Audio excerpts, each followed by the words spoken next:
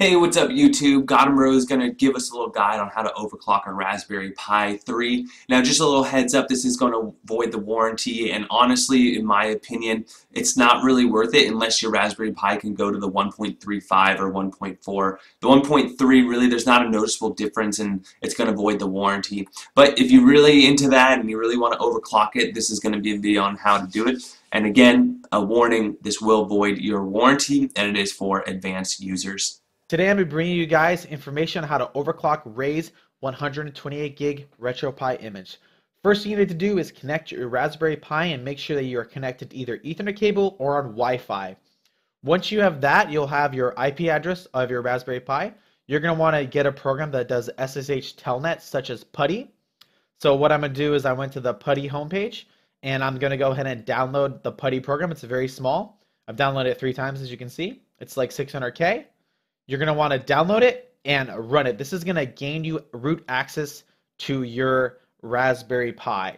So you want to go ahead and double click it, run it. It's going to then prompt you with information that it needs. It needs the host name of your Raspberry Pi. You can get this from the Retro RetroArch menu. You can click on Wi-Fi and see your IP address. I know that this is the IP address of my Raspberry Pi. It is most likely to be a 192 address as most people are using home Wi-Fi or wired connection. So this is the IP address of the machine and the default for all Raspberry Pi units out the box, the username is Pi and the password is Raspberry. So I want to make sure I type my IP address correct. I'm to hit open. It's then going to prompt me with login as. This is all lowercase, no spaces. So I'll type PI, enter. Then I'll type the word raspberry, R A S P B E R R Y, enter. Now I have my root location.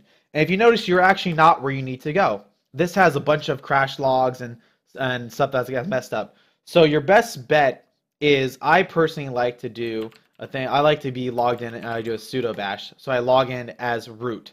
Root is like the admin, the owner of the directory, and I'm the home directory.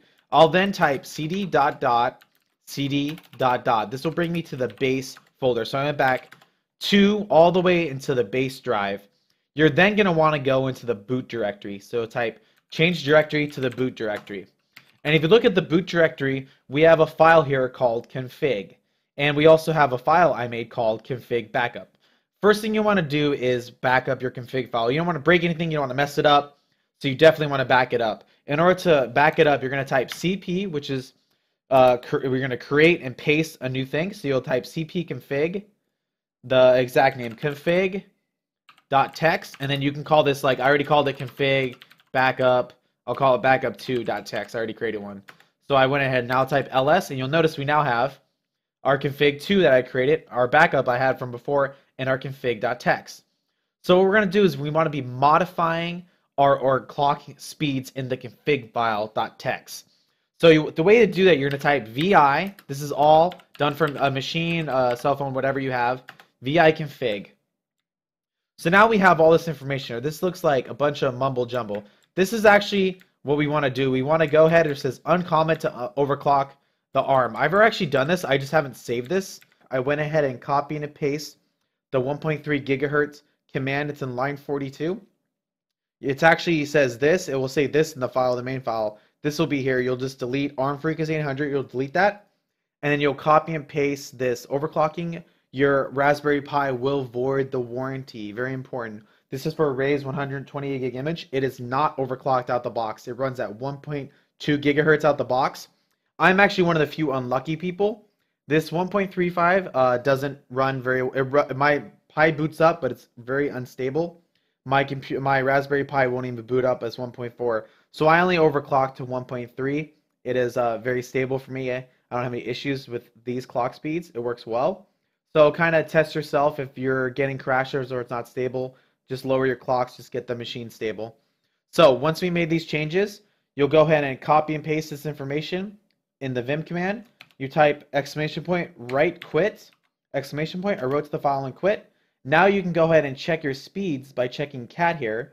So we made the overclock changes you then would actually want to reboot. I did a reboot. You see, I did a reboot. I had at 1.3 before. It wasn't stable. Now I just clocked it to 1.3. that was my old clock. This is my new clock. And if you don't get your changes, just do a reboot and then check after you reboot. So you want to make changes, reboot the device. You can just do a sudo. I'm typing here. You can just do sudo reboot.